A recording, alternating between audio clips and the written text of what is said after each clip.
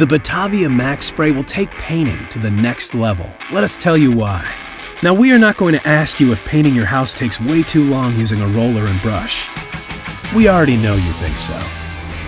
The Max Spray is an easy to use paint spray. Just fill it up and get the job done. This very affordable machine is not just meant for the pros. Anyone can use it. Whether you are working inside or outside, the Max Spray will help you on nearly all surfaces and with pretty much every type of paint.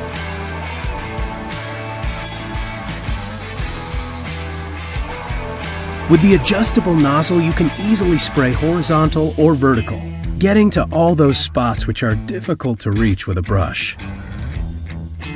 It's just a lightweight, comfortable to use machine that will make your life a whole lot easier.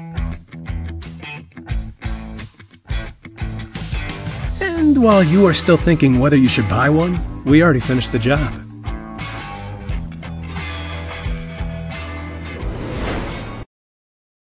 Before spraying, you need to assemble the product simply. Then push the front body part inward. Before use, measure the paint concentration. It is best to control it below 50 in. Three spray patterns by simply adjusting the location of air cap, circular, vertical, horizontal. Circular shape is suitable for sides, corners. Vertical shape is for horizontal object surface. Horizontal shape is for vertical object surface. By adjusting the flow knob to control the flow rate,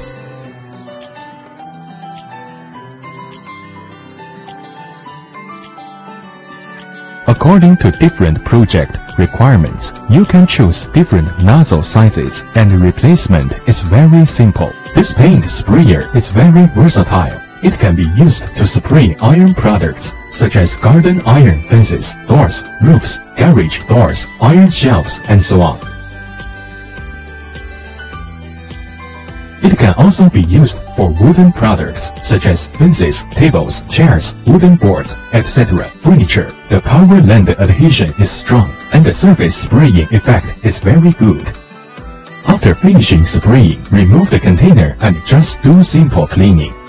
Put the corresponding thinner and perform a similar spraying operation. The purpose is to clean the remaining paint in the pipes and nozzles, then remove the container and clean all parts. Are you still hesitating about such a great paint sprayer?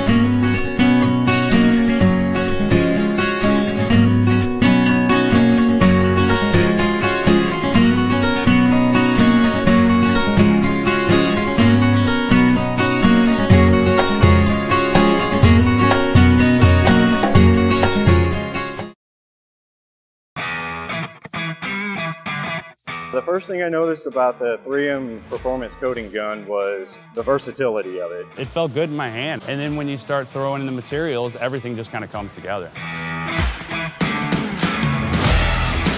My name is John Wimpy. I'm the head painter here at Schaefer Auto Body Center, South County, Missouri. Hello, my name is Adam Fulkerson. I'm the head painter at Schaefer Auto Body. My name is James. I've been a painter here at Schaefer Auto Body Center for four years. Uh, my name is Jason Nix. I am a painter here at Schaefer Creve Coeur in St. Louis.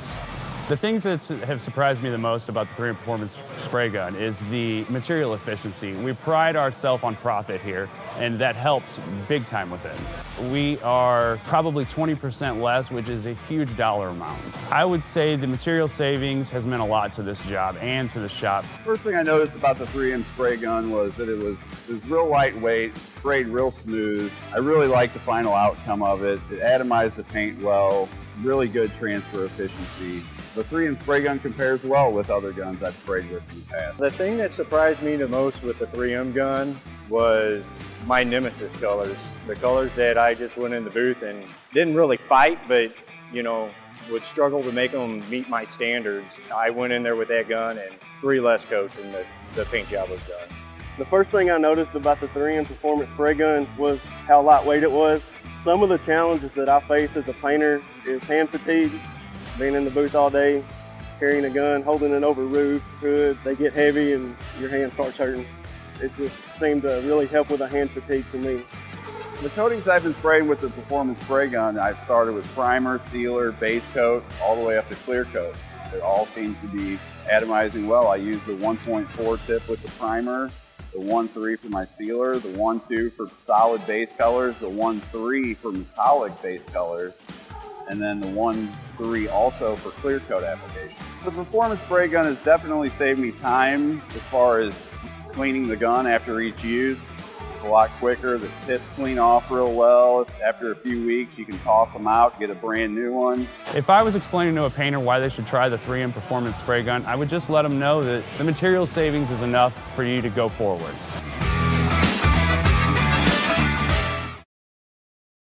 Today we're going to be doing a What's in the Box video featuring Fuji's DIY series of spray systems. Within the DIY series we have our Semi Pro 2 and Hobby Pro 2 spray systems which are great entry-level systems for the homeowner or professional. Now there's going to be three main components to every HVLP turbine-driven spray system. The first component, your air hose. The second component is going to be your HVLP spray gun. And the third and final component is going to be the HVLP turbine itself.